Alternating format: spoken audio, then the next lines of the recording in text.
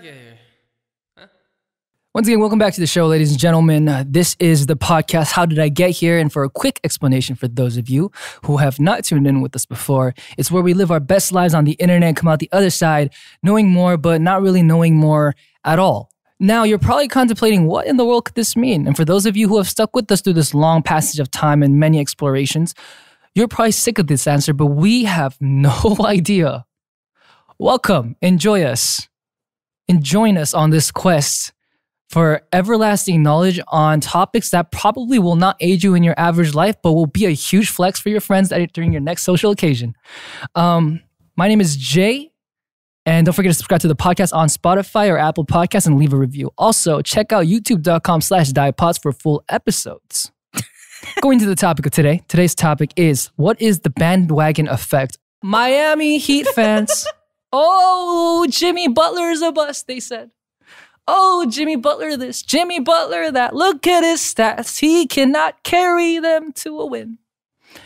And what happened at the end of the season when the Lakers were up against the Miami Heat? Everyone jumped on the underdog story. The bandwagon effect. Are you a bandwagoner? Are you a bandwagoner? Am I a bandwagoner? Let's hop into it. The bandwagon effect refers to our habit of adopting certain behaviors or beliefs because many other people do the same. It's a type of cognitive bias, right? Um, it can affect all sorts of decisions we make in our lives. The primary worry is that it can override the individual critical thinking that often goes into making valid and good personal decisions. Please, for the love of God, I I cannot emphasize this enough. The bandwagon effect, I wouldn't say it's necessarily a negative thing, but I would say to know when these decisions are just, you know, for fun, like sports or for entertainment purposes. But when these bandwagon effect effectual opinions, bandwagon affected opinions uh, start to stray in to your professional life, into your career choices, please, for the love of God, do your own critical thinking, make your own choices. Now, that does not mean that other people's opinions can't be valid to you. That does not mean that you could hear someone make a good, valid point and be swayed by them and be like, oh, okay, that kind of makes sense. Maybe I'll switch over. That's not bandwagoning. Bandwagoning is when you just take an idea or when all your friends tweet Jimmy Butler and Miami Heats, and then you just hop on it without ever seeing an NBA game and say Jimmy Butler and Miami Heats to farm tweets and to farm likes. And that is my point. Okay. That was great. Yeah. Uh, can you think of a time when you yourself succumbed to the bandwagon effect? I definitely think that when I was younger, uh, I felt like there was more of a need to be socially accepted than I do now. I mean, I never understood social cues. So the easiest thing for me to do to be accepted by my peers, especially in middle school or high school, when I had a harder time with social cues, was to bandwagon.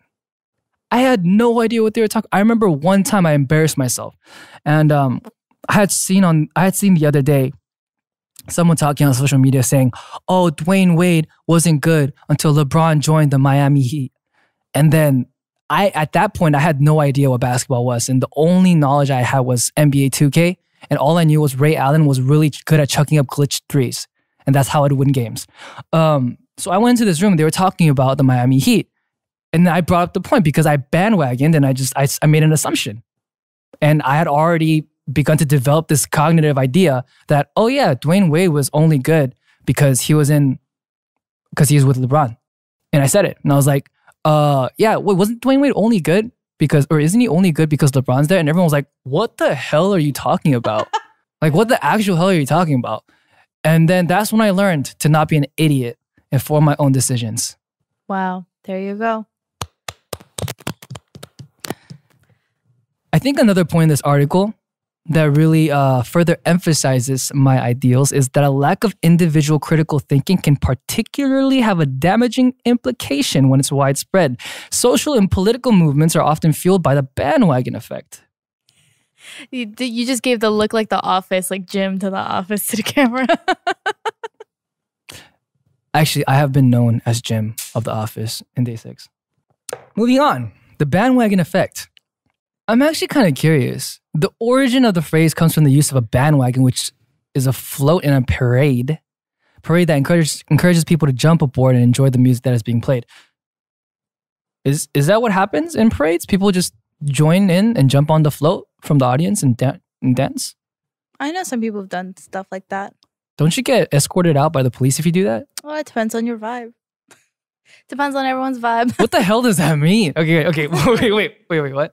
Okay. Over time, it has come to be understood as a form of manipulation to influence people to join with a trend in politics or consumer behavior. The implication is that since so many other people are doing it, it must be good or at least acceptable. Ah, that's where the big no comes in, I think. I think there have been numerous times in history where a large general population of people have had a certain stigma or a belief of something, and it turned out mm, a couple years later, or maybe even a hundred years later, a couple decades later, that they were absolutely wrong. The earth is round, it's not flat. What do you mean? Remember? That's what, um, what's his face? Copernicus? Galileo? Was Galileo? Oops. Remember? Galileo. Galileo was the one who was Yes. like, guess what? The earth is a sphere. And they were like, what do you mean? But It's Kyrie said it's flat, so it's flat. flat. No, no, no, no, no. You can't bandwagon. No, Kyrie said it's you, flat. We've already been told that you have a history of no, bandwagoning is on the, the, wrong wagon. anti-bandwagon. No, no, no. This is a bandwagon. This is the anti-bandwagon and Kyrie's right pulling the wagon, and you jumped onto it. And when I'm not letting you, And uh, for those of you who think I'm actually serious when I talk about the flat Earth theory, like uh, I just want to make it very clear that I'm being sarcastic. This is sarcasm. there you go. Yes, I do not believe in the flat Earth theory, and I believe that the Earth is round, and I completely 100% agree with Galileo. I thought you were gonna be like, I believe the Earth is a pyramid. I think you're all wrong. the bandwagon effect has wider implications. That would have been the smarter answer. That would have been a clip and a half. There you go. That's unfortunate. That's unfortunate. The bandwagon effect has a wider implications, has a wider implication outside of politics and buying behaviors. In social psychology, this tendency of people to align their belief and behavior with those group with those of a group is also called herd mentality or groupthink. I think groupthink is something that's very apparent in our current world. People like to play safe. You know what I mean? People like to uh, lean along the lines. That's that's it. oh, that's it. That's it. Bandwagoning. I mean, you know, sometimes, as you said in high school, you felt pressured to bandwagon or like to join in on things or conversations that you as an individual wouldn't naturally want to be a part of. Yeah, and it, it sucks because when you don't understand social cues, like it's it's like uh dude, you know what I thought was like the most genius line in one of Joji's songs? I have no it goes, I don't have no social cues. Dude, that that was a genius line. What song was it? Anyway, Yeah. I can't I can't get over you. Can't get over you. yeah. That was a genius line. Uh huh. But um, basically, when you don't have social cues and when you don't understand things, it's really hard to join in a conversation because it's hard to tell what angle people are coming from. So if you bandwagon and just agree with them, usually 90% of the time you're right. 10% of the time, they're being sarcastic and you're wrong. Yeah. But 90% of the time is a good percentage. I take 90 over 10 any day. Yeah. If someone told me that my stocks could increase at a 9 to 1 ratio, I would I would take the 9. I would risk my stocks at a 9. Oh. That's a good ratio. You can't. And now that we are done with the meetup today, we're going to move into the first question. And the question comes from Omar Fix. Which country do you wish to live in for the rest of your life and why? Um, currently, this is a question that has been thought of a lot. And I have been thinking perhaps Canada or Hawaii. The fact that you think Hawaii is a country. I mean, I'm sorry. I'm sorry. Uh, locations. I was thinking locations. Yeah, sorry. city, like a city. Yeah, Hawaii is a part of the United States, but yeah. I mean, obviously, but I'm thinking, I'm thinking like location. And you know, Vancouver, Toronto, they all look very nice. And Hawaii is also looking like a very nice spot to just spend the rest of your life. And um, I mean, I'm sure there's more dynamics to what I see on a third person perspective from my perspective of Hawaii. But it just feels like a very nice place and a chill place to just settle for the rest of your life and you know enjoy the enjoy the sun. You're thinking in terms of like retirement life. I'm thinking, oh, yeah, I'm thinking retirement. yeah, not the hustle life. I mean, if you're gonna be hustling, 100% you should be in LA, you should be in New York, you should be in Seoul, you should be in uh, Berlin, you should be in you should be in all the capitals. Berlin is the capital of Germany, right? Yeah. Okay, I just yeah. Is it? in Moscow. It must. Yeah. Yeah. Moscow Moscow is the capital of right. Russia. Okay. Yeah. What's the capital of Portugal? Oh, L- Lisbon. Lisbon. How did I know that? How did you know that? I be knowing things. I only know that because I went on tour there. oh, really? Yeah. I've never been there. Okay. But, well, um, that's beautiful. Yeah. Next question. If you were a time traveler, where, when would you go and why? Definitely, I would go 20 years ago and I would re release all the songs that were on the Billboard charts, top 10 that I remember. And I'd be a multi millionaire. I I think I'd be a billionaire actually.